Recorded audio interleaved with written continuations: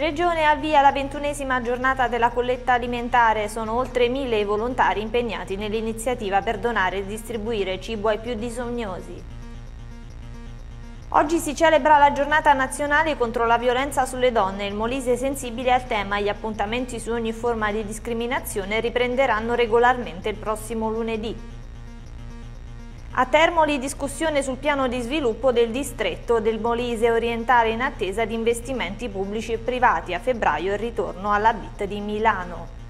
Giornata rosso-blu, domani pomeriggio a Selvapiana a Campobasso nel confronto con la capolista Matelica in casa anche l'Agnonese contro la Jesina.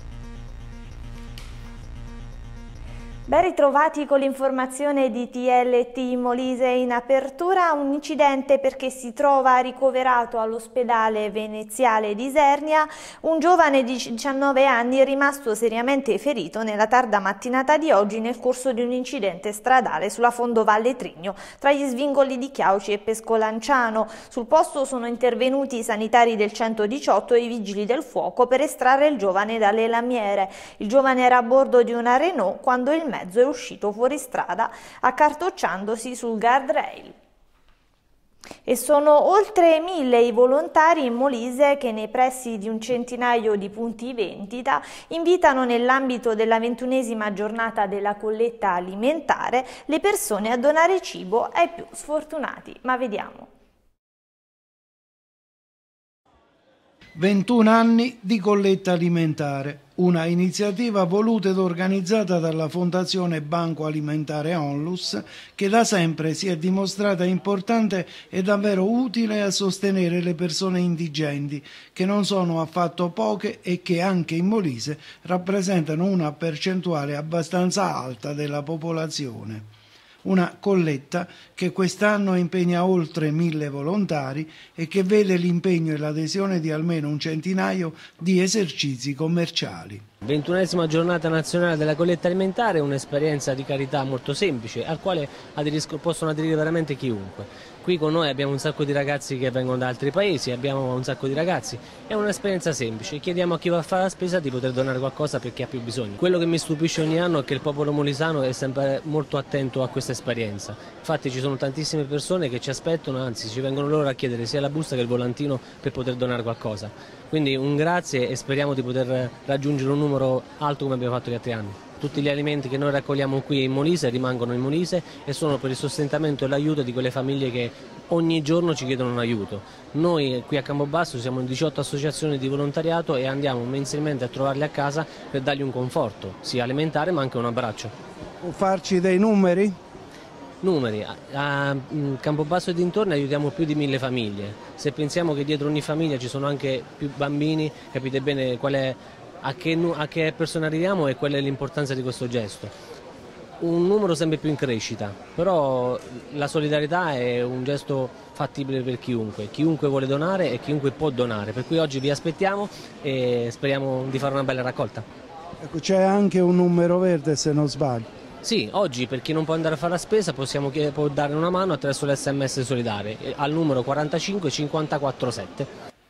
All'iniziativa danno un sostegno davvero importante anche numerosi extracomunitari che non si sottraggono alla scelta solidale dopo aver ricevuto l'aiuto e la vicinanza di tanti italiani. Ci sono qui per aiutare le persone che povere. Sono contento di aiutare. Mm come oggi, la giornata da oggi volontaria, mi piace molto. Io vengo dal Mali, sono maliano, mm, sono arrivato in Italia un anno e tre mesi fa. Ehm, da quando sono arrivato in Italia nessun problema sono contento per, per, per tutti gli italiani. La maggior italiano gentilissimo per stranieri. E dopo la vicenda dell'uomo che nella giornata di ieri ha minacciato di buttarsi dal tetto dell'Asrem di Campobasso, i sindacati si scagliano contro una certa imprenditoria. Vediamo. Un gesto disperato quello dell'uomo che nella giornata di ieri ha minacciato di gettarsi dal tetto dell'azienda sanitaria di via Ugo Petrella dopo aver disperatamente chiesto alla direzione aziendale come mai una ditta esterna non aveva ancora pagato le spettanze di numerosi mesi ai suoi dipendenti. Una vicenda triste che dovrebbe far riflettere L'operaio, lavoratore in una ditta edile del capoluogo, erano mesi che aspettava invano lo stipendio e dopo sette mensilità non aveva più nessuna risorsa per poter tirare avanti. Ricordiamo che già nei mesi passati i lavoratori della ditta avevano protestato per difendere i propri diritti e unitamente alle organizzazioni sindacali si era cercato di trovare soluzione per il pagamento degli stipendi arretrati fino a ricorrere più volte a confronti con la dirigenza dell'ASREM e al prefetto. Purtroppo, dicono le organizzazioni, la testardaggine dell'impresa edile ha reso vano questi incontri. I sindacati stigmatizzano il comportamento di una certa imprenditoria che da tempo non ha più a riferimento il valore della responsabilità nei confronti dei propri dipendenti, l'importanza del ruolo sociale che l'impresa ha nei confronti del territorio e di cui bisogna ragionare sulla sua utilità. I sindacati ritengono che il settore delle costruzioni debba trovare la forza per fare scelte che favoriscono le imprese sane, che guardano alla qualità e alla responsabilità di fare impresa nel Molise, eliminando gli spazi per gli affaristi senza scrupoli. Cambiamo adesso argomento perché l'associazione Mai più Sole di Termoli, in occasione della giornata internazionale contro la violenza sulle donne, intende dare il proprio contributo martedì 28 e con le ore 17.30 nei locali della Chiesa del Sacro Cuore con la proiezione del documentario Il corpo delle donne, al quale seguirà un dibattito sugli stereotipi femminili veicolati dai mass media. E in occasione proprio della giornata mondiale contro la violenza sulle donne è importante ricordare proprio l'importanza della prevenzione. Il rapporto Eures fotografa ancora una situazione allarmante.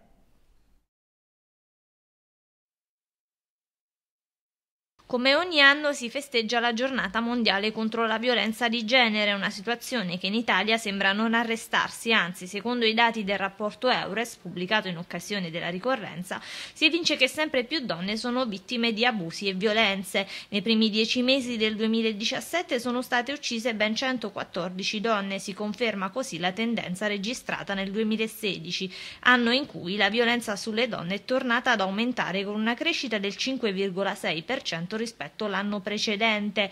Infatti tra il 2015 e il 2016 il numero dei femminicidi in Italia è passato da 142 a ben 150, soprattutto a causa di una forte crescita del fenomeno nelle regioni del centro e del nord Italia. Anche in Molise è forte il ricordo di questa giornata e anche le forze armate si sono messe al lavoro per sensibilizzare la popolazione.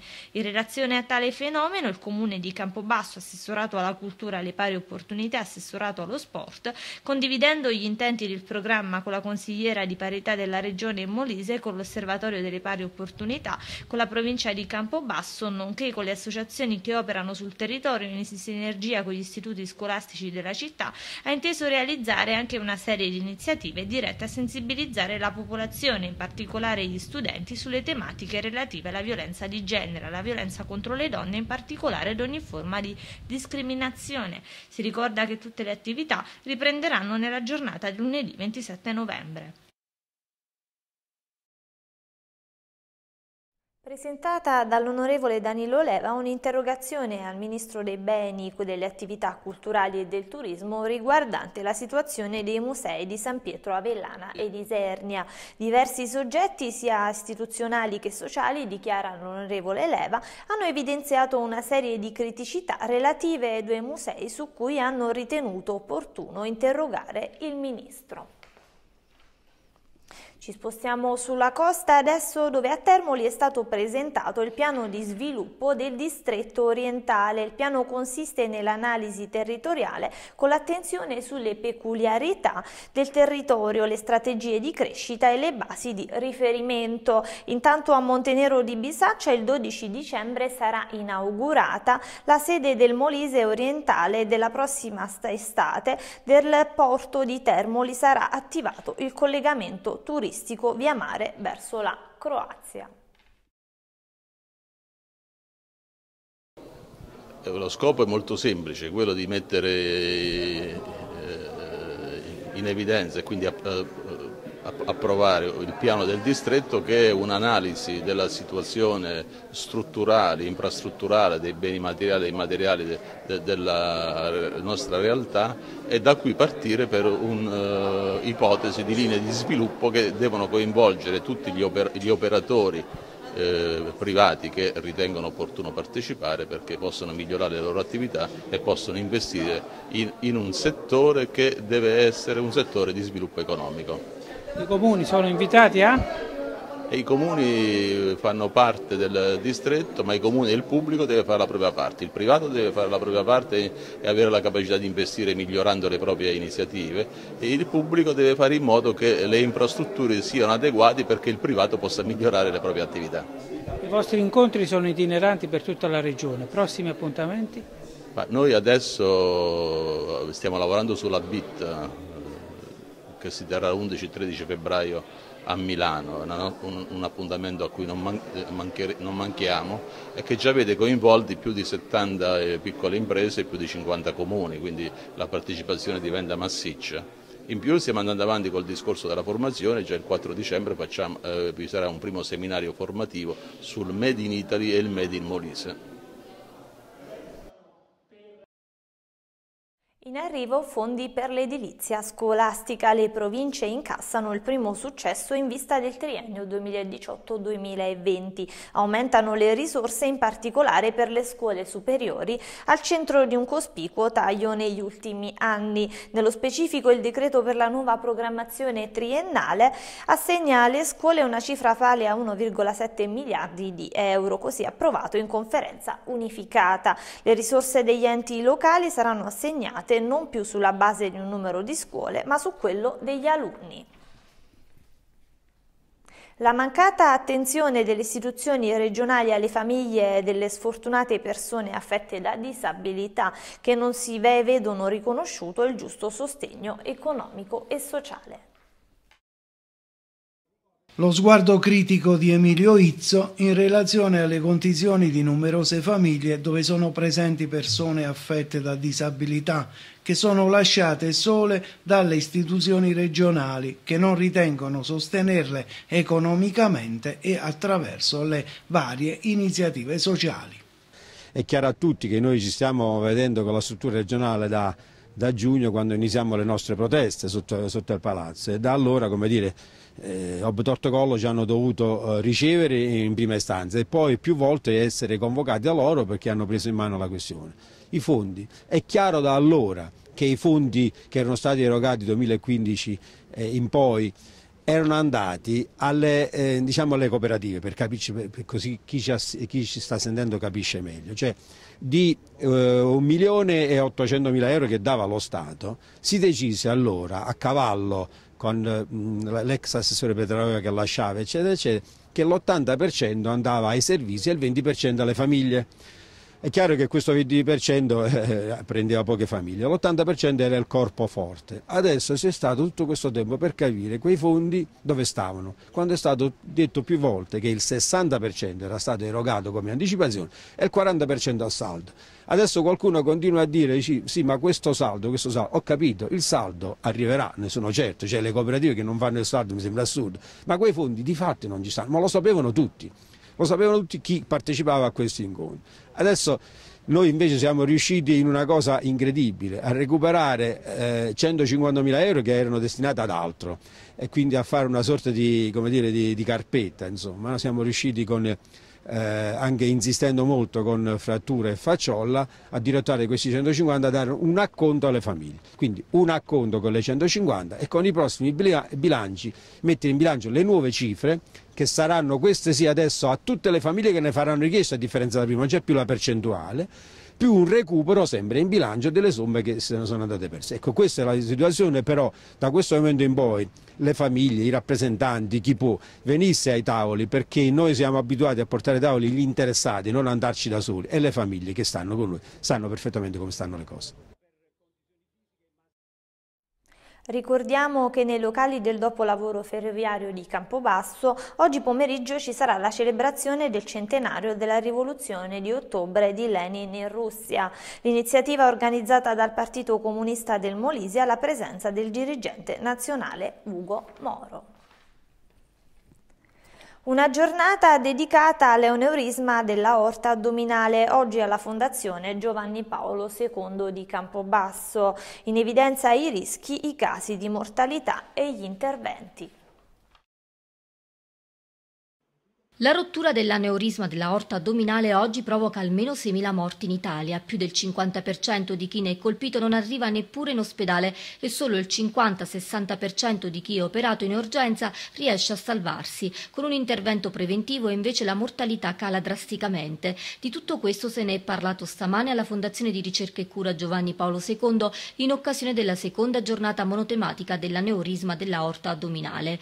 Un evento organizzato dall'unità di chirurgia vascolare coordinata dal dottor Pietro Modugno. È una patologia molto silenziosa, nel senso che non dà grossi, do, in elezione non dà nessun grosso dolore. Il dolore purtroppo subentra quando praticamente l'aneurisma è in fase praticamente di rottura o di fissurazione. E però quando siamo in queste condizioni siamo già un passo oltre, insomma, verso, perché l'intervento per risistemare un aneurisma in fase di rottura ha una mortalità del 50% circa in elezione del 2%. Quindi eh, non sono sovrapponibili, non sono paragonabili i due rischi operatori. Molte volte eh, l'agnorisma è, è, asintomatico, non dà dolore. Allora uno lo scopre perché fa un accertamento eh, rutinario per un'ecografia, per un problema di calcoli alla colecisti, di, di calcoli carenale, tutto e si scopre l'agnorisma. Altre volte invece perché il medico continuando a visitare, cosa che spesso non si fa più mettendo la mano sulla pancia, si accorge di questa tumefazione pulsante e fa fare al paziente una banale ecografia.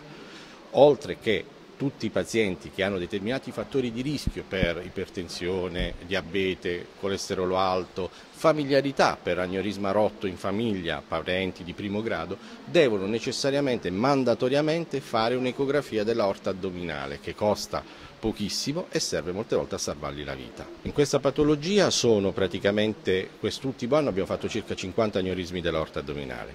In generale abbiamo fatto circa 310 agnorismi dell'aorta addominale, trattati un 50% per via endovascolare e un 50% per via open, con una mortalità complessiva dell'1,3% per l'endovascolare e dell'1,4% per la chirurgia open, molto di gran lunga al di sotto dei linee e delle linee guida nazionali che, intorno, che oscillano tra il 2 e il 3%.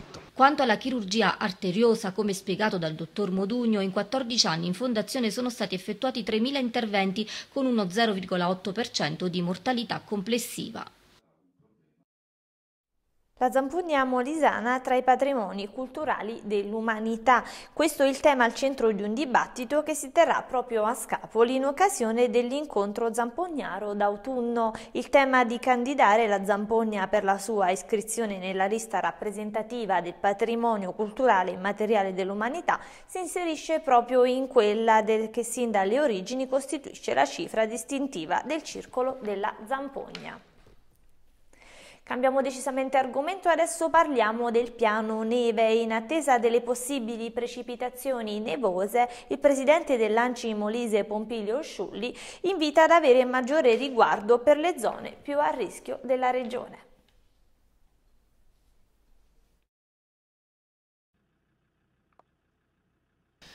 L'inverno è ormai alle porte e i comuni eh, dell'Alto Molise debbono seriamente pensare alla stagione invernale, pensare al piano neve, il comune di Pesco Pennataro l'ha già fatto.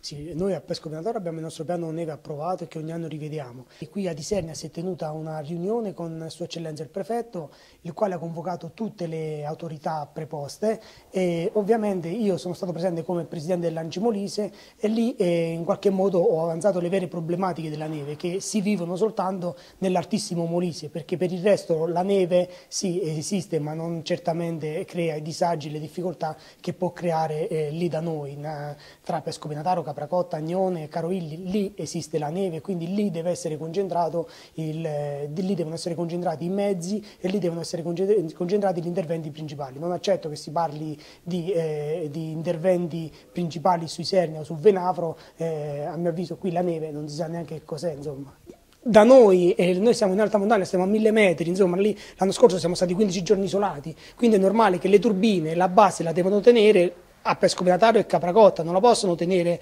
a, a Filignano oppure, la, la, oppure a, a, Longano, insomma questo è, sicuramente eh, lì eh, ci saranno disagi anche lì, ma non come da noi, ecco, quindi sappiamo che ci sono due turbine pronte, di cui una deve stare fissa a Capracotta e l'altra fissa a Capra Pescovenatario, perché lì servono le turbine, non altrove.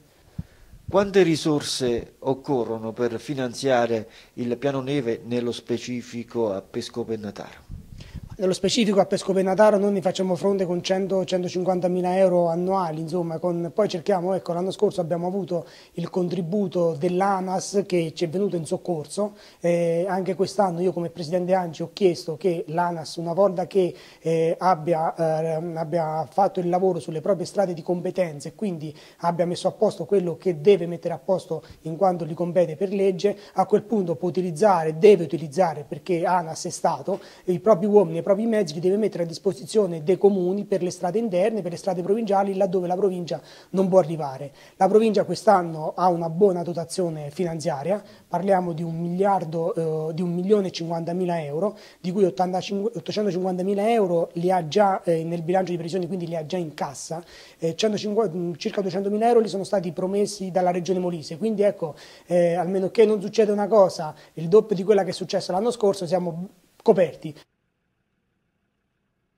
Si è svolta invece a Petrella Tifernina la presentazione di Abitare Luoghi, il protocollo d'intesa sottoscritto dall'Ufficio Scolastico Regionale del Molise e dall'Associazione Nazionale dei Comuni d'Abruzzo e Molise per consentire ai 38.000 studenti molisani di visitare 150 comuni delle due regioni e di accogliere studenti abruzzesi che faranno visita ai borghi della loro regione. Tra gli insegnanti molisani c'è molta attesa nel mettere in atto questa esperienza esperienza pedagogica ed innovativa. Gli spunti letterari dell'ultimo romanzo della scrittrice Antonella Presutti nevica poco e male negli interventi dei critici intervenuti proprio a Campobasso alla presentazione ufficiale. Ma vediamo.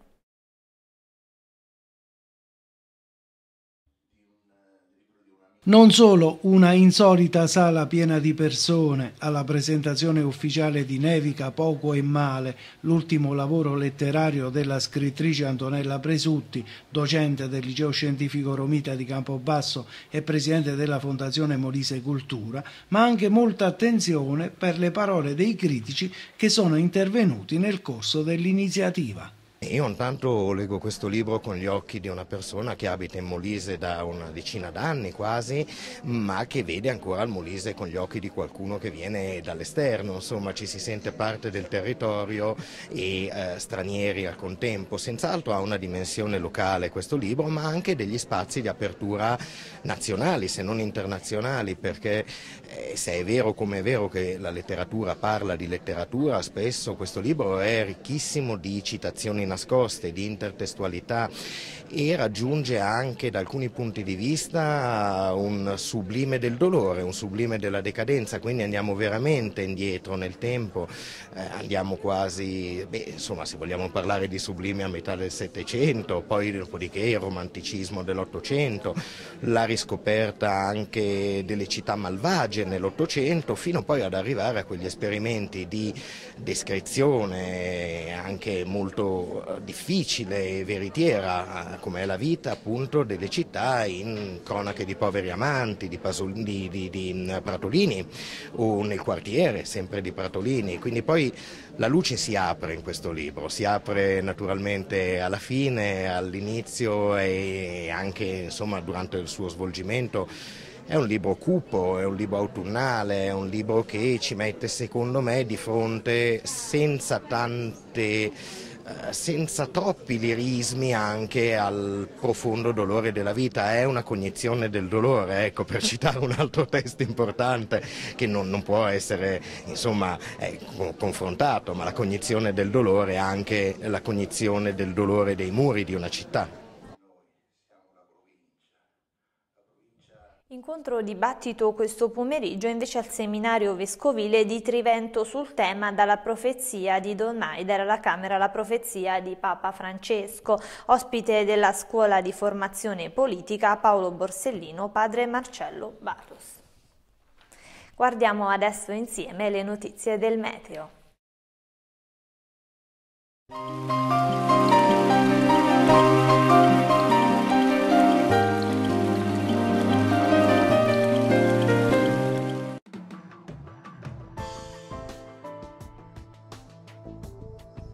Cielo coperto su gran parte del Molise, parziali schiarite dalla sera sulla fascia adriatica. Le temperature odierne sono previste tra i 10 gradi di Campobasso e la massima di 16 a Termoli.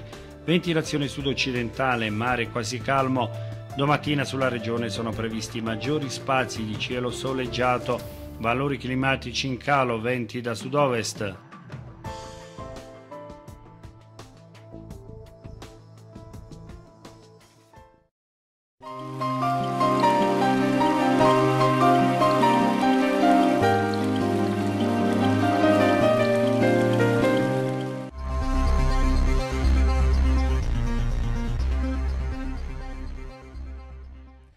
Strategie programmatiche ed operative da mettere in campo nell'attività motoria nell'età evolutiva. La discussione si è svolta oggi ad Isernia nel Palazzo della Provincia.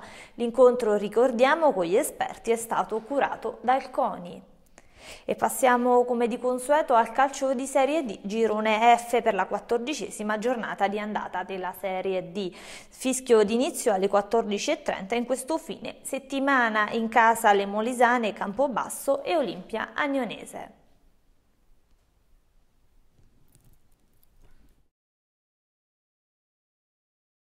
Castelfidardo Pineto, Campobasso Matelica, Fabriano Vispesaro, Francavilla Vastese, L'Aquila San Marino, Nero Stellati Monticelli, Olimpia Agnonese Jesina, Recanatese Avezzano, San Nicolò San Giustese.